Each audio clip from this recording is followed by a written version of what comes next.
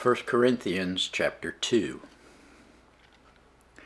And I, brethren, when I came to you, came not with excellency of speech or of wisdom, declaring unto you the testimony of God.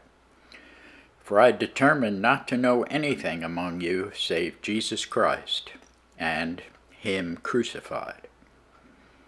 And I was with you in weakness, and in fear, and in much trembling and my speech and my preaching was not with enticing words of man's wisdom, but in demonstration of the Spirit and of power, that your faith should not stand in the wisdom of men, but in the power of God. Howbeit we speak wisdom among them that are perfect, yet not the wisdom of this world nor of the princes of this world that come to naught.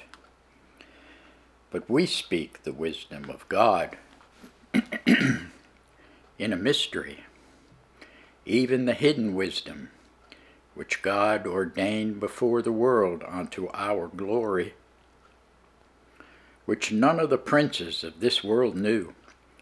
For had they known it, they would have not crucified the Lord of glory. But as it is written, Eye hath not seen, nor ear heard, neither have entered into the heart of man the things which God hath prepared for them that love him.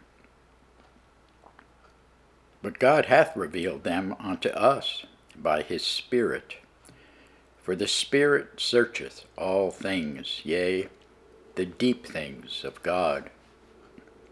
For what man knoweth the things of man, save the spirit of man which is in him.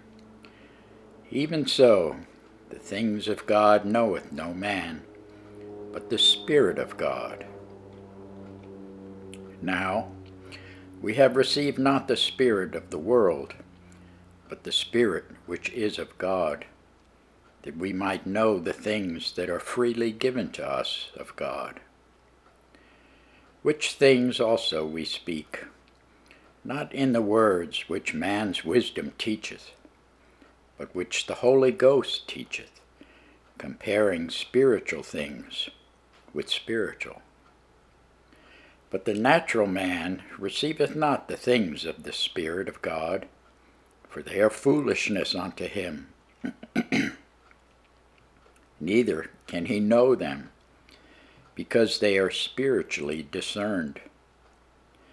But he that is spiritual judgeth all things, yet he himself is judged of no man. For who hath known the mind of the Lord that he may instruct him? But we have the mind of Christ. Thanks be to God for his word.